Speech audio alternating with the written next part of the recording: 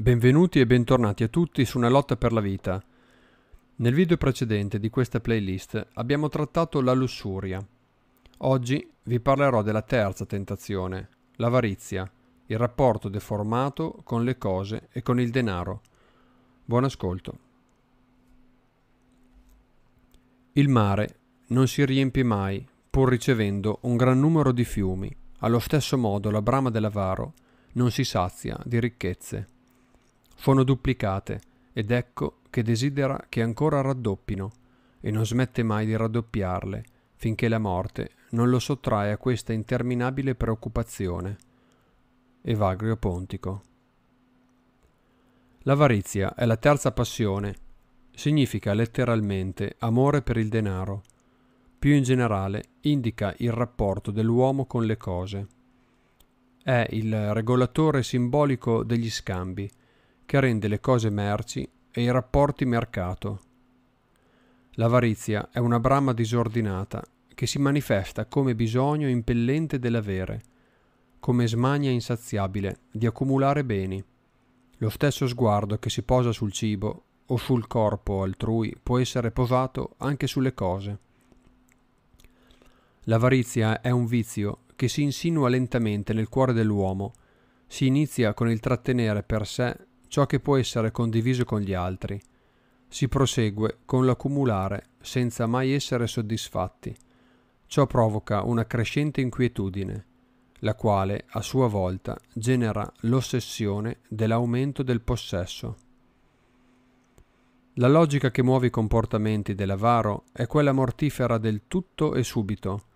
La sua preoccupazione è quella di conservare ed aumentare ciò che si è acquisito si aumenta per conservare e si conserva per aumentare. È così il godimento dell'avaro, è la previsione di goderne il futuro, ma poi questo futuro è costantemente rimandato.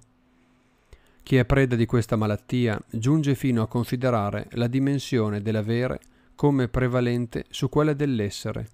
Sono ciò che ho. Questo è il suo tragico motto. Francesco d'Assisi, si badi bene, ha chiamato il denaro sterco del demonio, proprio perché in ogni azione compiuta dall'avaro c'è la puzza del denaro. Ma perché questa brama di possesso seduce tante persone? Perché regna una paura del domani, che chiede di accumulare beni e denaro per far fronte alle incertezze e alle possibili malattie. L'insicurezza del domani appare compensata dai beni posseduti e così si scatena una bulimia dell'avere. Evagrio Pontico ci ricorda che l'avarizia fa intravedere una vecchiaia lunga, la debolezza delle mani nel compiere lavori, la possibilità della fame e di future malattie, le sofferenze dovute alla povertà, e fa intravedere quanto sarà avvilente ricevere dagli altri ciò che dovrà servire alle proprie necessità.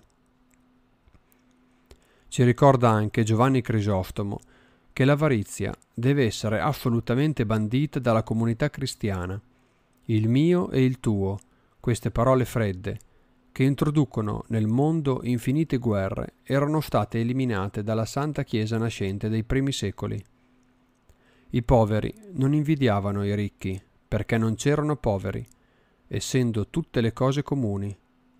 Mio e tuo non sono altro che parole prive di fondamento reale. L'avarizia può e deve essere affrontata e ordinata, perché in caso contrario rischia di accompagnare e definire tutta la vita. È in questo senso che Paolo ha potuto scrivere l'avarizia è la radice di tutti i mali. Il cuore di ogni uomo può infatti conoscere quanto è fascinoso il denaro e quindi può conoscere questa malattia della fissazione sull'avere che impedisce la comunicazione, lo scambio, la capacità di donare e di ricevere. Se Gesù ha detto vi è più gioia nel dare che nel ricevere, ciò significa che vi è ancora meno gioia nell'accumulare per sé. Chi è posseduto dall'avarizia pone nei beni il suo cuore.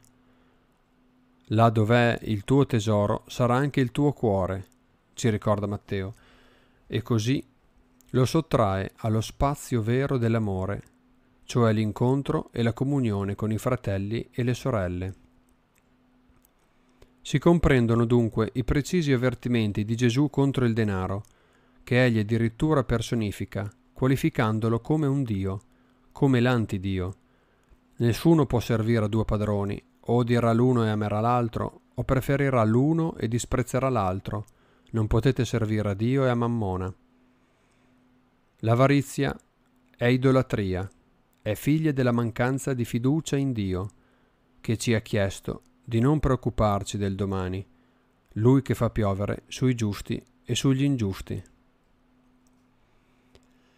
L'avaro può essere riassunto così, fatica nell'accumulare, timore nel conservare, dolore nel perdere. Dunque, quale può essere l'antidoto contro l'avarizia? Prima vi deve essere una conversione dei desideri, un esercizio per giungere a ristabilire il primato dell'essere sull'avere. Poi vi è la rinuncia materiale. Ricordiamo le parole, da ricco che era, si fece povero per noi, ed anche chi non rinuncia a tutto ciò che possiede non può essere mio discepolo. Occorre scegliere di rinunciare, prima che ci costringa a farlo troppo tardi la vita stessa. Occorre soprattutto condividere il denaro, i beni, è questo il vero mezzo per uscire da se stessi, dal proprio isolamento e per farsi degli amici. Come diceva Gesù, fatevi degli amici con la ricchezza nella quale confidate e questi vi accoglieranno nelle dimore eterne.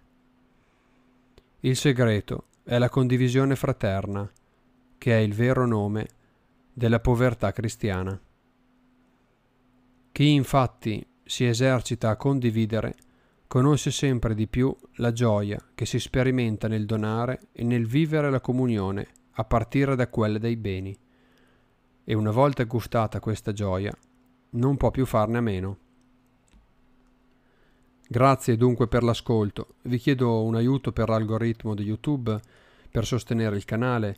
Iscrivetevi, cliccate anche la campanellina per essere avvisati all'uscita dei prossimi video. Se avete domande o consigli, scrivete pure qua sotto nei commenti. Vi invito quindi ad ascoltare il prossimo episodio, che sarà sulla collera, il rapporto deformato con gli altri. Un saluto a tutti. Ciao.